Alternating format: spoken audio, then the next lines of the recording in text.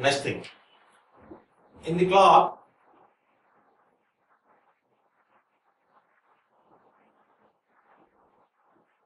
nine and twelve.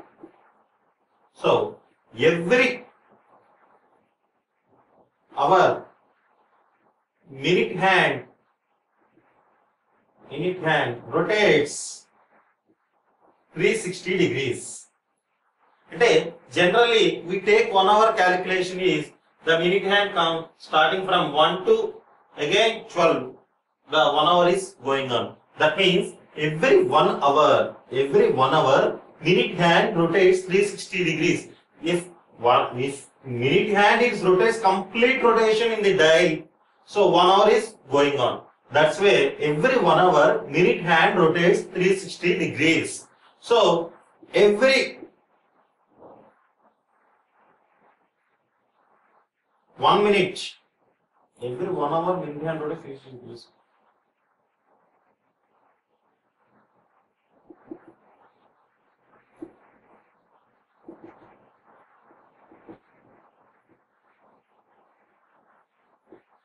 Every one hour, minute hand rotates 360 degrees. So every one minute, minute hand rotates how many degrees?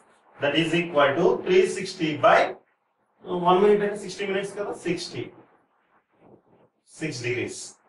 So every one hour, the minute hand rotates 360 degrees. At the same time, every minute, minute hand rotates 6 degrees. That means the present time is 4.15 pm. Again, 4.16 pm, the minute hand rotates, minute hand rotates 6 degrees, 6 degrees space. Okay.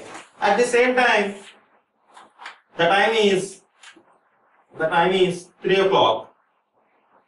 And again, 4 o'clock, the hour hand rotates minute hand so minute hand rotates 360 degrees in 3 to 4 the hour hand rotates this 360 degrees at the same time 4:15 pm to 4:16 pm it takes 1 minute. The hand rotates 6 degrees. That means every 1 hour minute hand rotates 360 degrees. Every 1 minute minute hand rotates 6 degrees. Is a very important thing.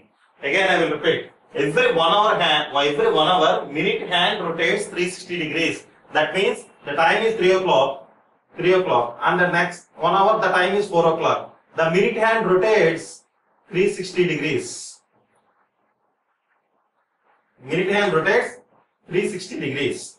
At the same time every 1 minute minute hand rotates 6 degrees. That means the time is 4.15 and again the time is 4.16 pm the 1 minute is going on. That 1 minute minute hand rotates 6 degrees